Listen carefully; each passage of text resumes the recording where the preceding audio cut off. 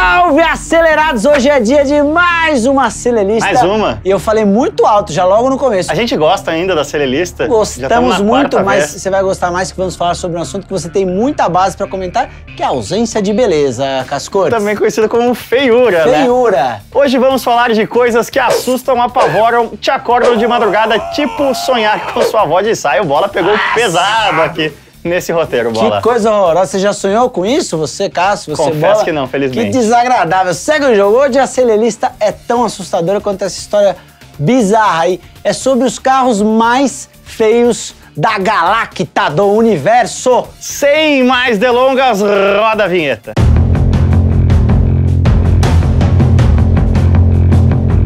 Pois esse aqui é barbado. Pontiac Aztec é tiro e queda um eterno integrante da lista de coisas mais bizonhas já desenhadas na história. Mas as intenções, como várias lá no inferno, eram boas. Foi lançado em 2001, o Aztec ele surgiu para marcar o renascimento do design da GM, a dona da Pontiac. Segue? O designer Tom Peters disse que a ideia era fazer um desenho extremamente agressivo e que não agradasse a todo mundo. Chegou, a, atingiu bem o objetivo. O, o, Bola tá sendo bacana aqui com o Tom Peters, que isso aqui já é um facelift. Volta na, se você tiver aí a versão original, que era toda de plástico aqui embaixo. É verdade. Que é muito pior. Você não tem aí? Calma, calma. Aí, aí... Mas é aquela outra que tá comparando Anterior, dois. Aqui. Isso, é. Essa aqui, esse aqui é o Aztec de lançamento, que Nossa era ainda mais feio que o cão chupando monga, manga, aliás. Monga. monga. o rapaz fez realmente um excelente trabalho na hora de não agradar ninguém. Olha que proporções estranhas o Aztec tem. A frente bipartida parece um Transformer que vira uma libélula devoradora de humanos, por exemplo. Que belo texto, hein?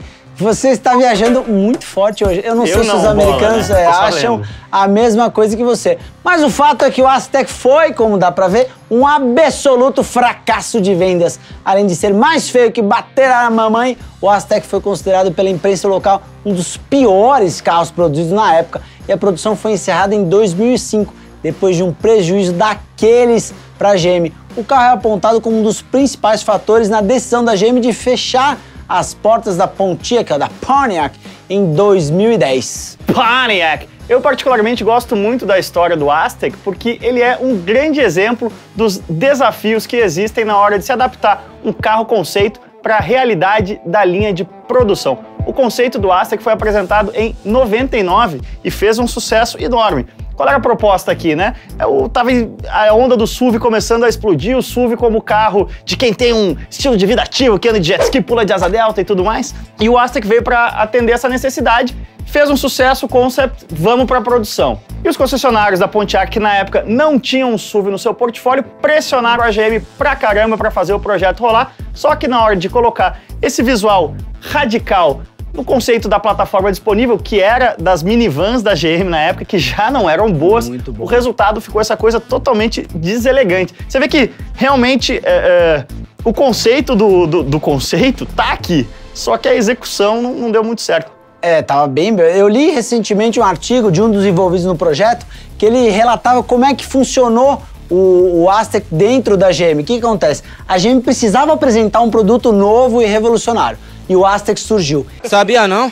E ninguém tinha coragem de dizer quão ruim era aquilo. Então ele foi passando por diversas reuniões. Vai, vai, vai, vai sendo. E diversas aprovações e todo mundo falou assim, hum, ok ok, não é comigo, não sou eu que vou barrar porque a GM precisava é. fazer algo. Isso é uma... Isso é uma loucura do mundo corporativo. Não, é, é, uma entrevista com o Bob Lutz, que era o gerente de produto. Era o Bob Lutz. Que é tido como um, um... Põe a imagem do Bob Lutz aí. Que é tido como um guru, né, de, de produto, mas o que ele fala aí, a palavra-chave era inovação houve uma pressão, temos que fazer projetos Exato. inovadores. E assim, ninguém pode dizer que o Aztec não é inovador, isso é né? horroroso, mas ele é inovador. Ele era tão inovador que um dos opcionais dele no lançamento dos Estados Unidos era uma barraca, né?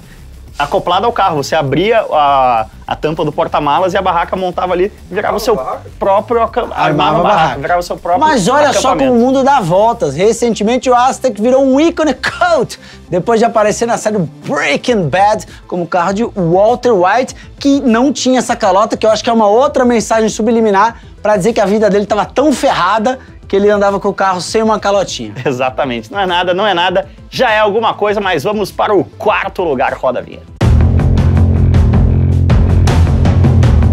Mais uma carta marcada nessa lista, o horroroso Fiat Multipla de primeira geração e o seu misto de sapo com pato deformado, é isso mesmo que você quis dizer, né?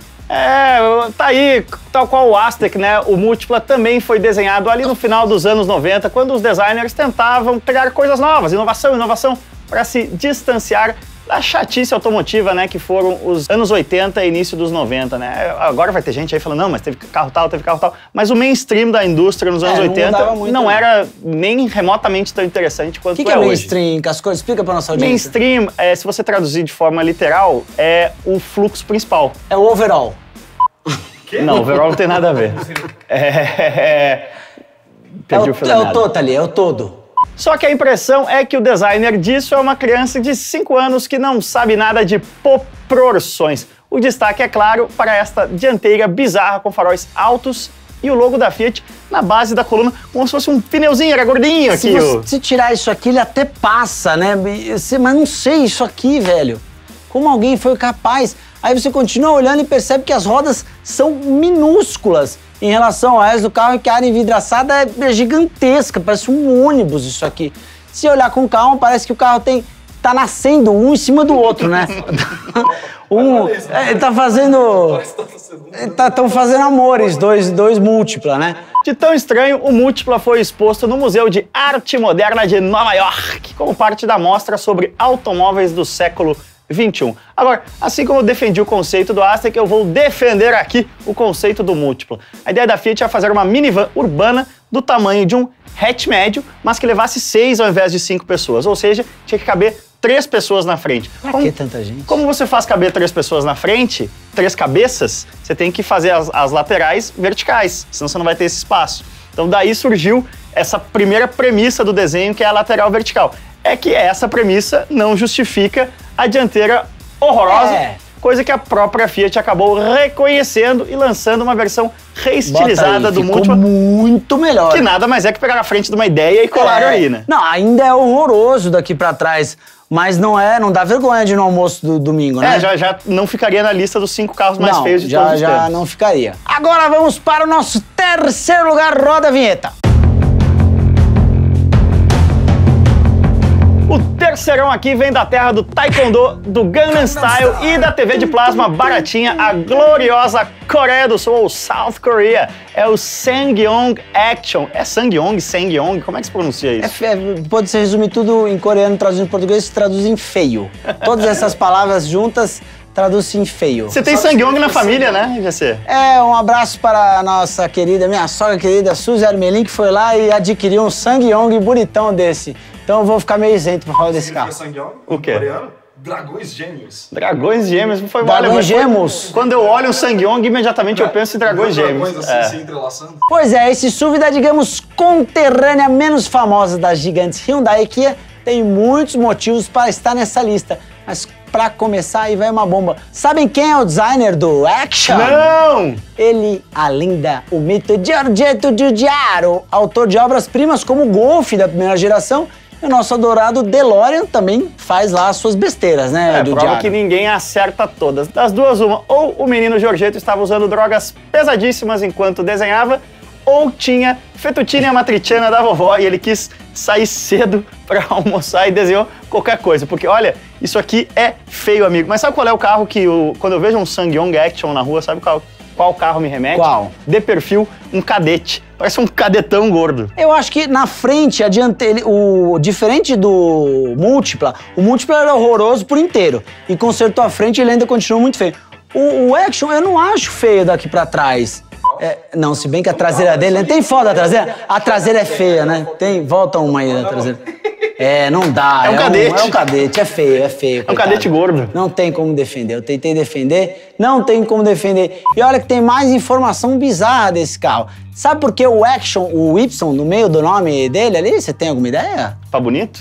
Não, é porque é uma junção das palavras action de ação em inglês com young de jovem. Ou seja, o que eles tentaram misturar no carro, tentaram misturar nas palavras e não deu certo. Essa foto é horrorosa, essa foto é horrorosa. divulgação, O que, que é isso? É divulgação. É o carro dentro do. É uma propaganda dentro da propaganda, o cara escalando. Agora, hum, talvez a menção honrosa para o Sangyong Action Sports, não Sports Que é a no picape. singular, e sim Sports no plural, que é a gloriosa picape do Sangyong Action. No Dragões Gêmeos, ação, jovem, esporte. Você tem que comprar, né? Como é que você não É, vai mas comprar? É tudo que você Tem, quer. tem que comprar. Roda a vinheta pro segundo lugar agora. Esse é um carro que me agrada muito.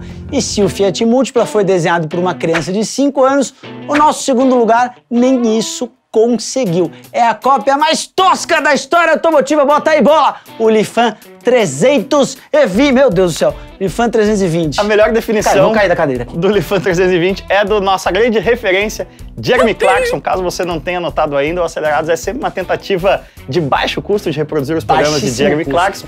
Mas o Jeremy dizia que o Lifan 320 era o resultado da descrição de um Mini Cooper pelo telefone. O cara foi desenhando, ah, agora você faz assim, é, e saiu. É o retrato falado Saiu do isso. Mini Cooper, né? Ou seja, o Lifan 320 não é nem uma autêntica porcaria, porque nem autêntico ele é, né? Exatamente. Mas dá pra perceber que ele tenta ser engraçadinho. Aqui tem os adesivos, nesse caso, que essa versão que o Bola colocou não tem, contradizendo o texto dele. Mas há cores sim diferentes, mas o resultado é o mesmo do iPhone, né? O nosso querido clone de iPhone vendido aí no centro de São Paulo, aquela beleza. E tem uma pequena dificuldade linguística do meu glorioso pai, um abraço, pai, que fala iPhone, iPod, iPad. Ele não Ele usa- vai, vai pra ele, ele coloca esse H ali. Entendi. Em 2013, este mini fake foi reestilizado e aí é mais sensacional ainda, porque eles tinham plagiado o Mini Cooper na primeira geração e no facelift eles plagiam o 500. Ah, esse é o facelift. Nossa, é tão ruim que eu nem percebi que tinha faceliftado. tá? Volta, É. faz um volta, não, eu quero a frente.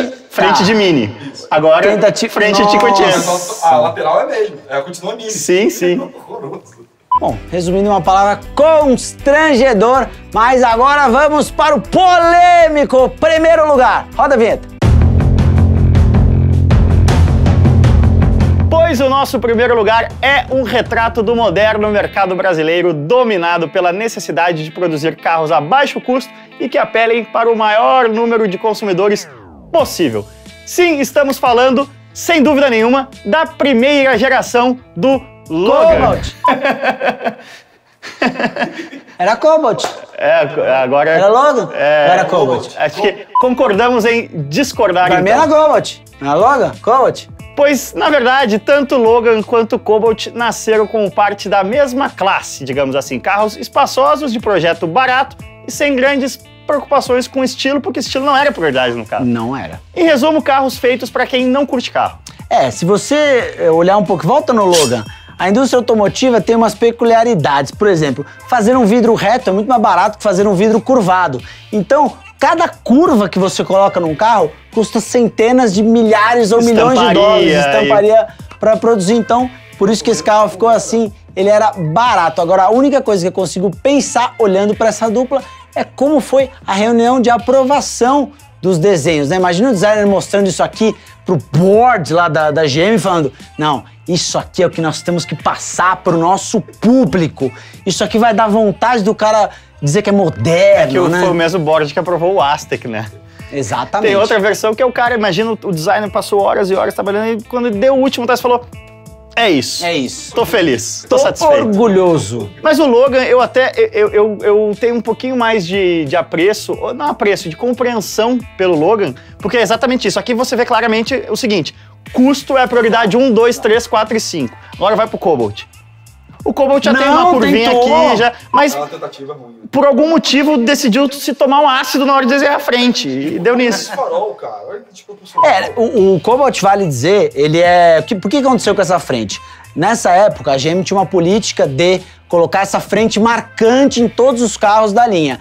Só que lá fora funcionava, com SUVs enormes, uma frente grande. E a política veio para o Brasil, onde se, fazem, onde se faz carros compactos. E aí colocaram uma frente gigantesca num carro pequeno, ficou isso aí. Ao menos tanto a Renault como a Chevrolet consertaram esses erros ao longo dos anos e fizeram carros melhores, né? Agora, o Logan melhorou muito e o Cobalt também ficou bem melhor, né? É, passaram a ser carros bem resolvidos, Bem né? Resolvidos. É, me, me espanta assim, como é que o, o Cobalt primeiro não foi esse?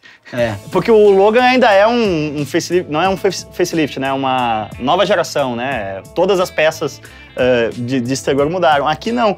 Consertando a frente e a traseira, um carro que era um carro horroroso com um carro bonito. É isso aí, galera. Essa foi a Acelerista dessa semana. E não esqueça de curtir, compartilhar e se inscrever no nosso canal no YouTube, Cássio Cortes. Sem dúvida alguma, eh, lembre-se também de sugerir temas para as próximas aceleristas e uma vez que nós anunciemos o tema da próxima acelelista no nosso Insta, no nosso Face, meu, você vai lá e sugere integrantes para o tema abordado. Abordado. É isso aí. Valeu, galera.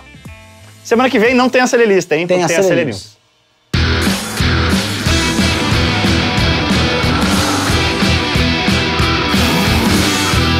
Falta de beleza. A gente pode invadir. Era eu. Vai, Mazara! Para, gente. 3, 2, 1. Se você está viajando ruim, Zé. 3, 2, 1. Eu falei, eu queria aparecer. Tá. Então vamos lá. É,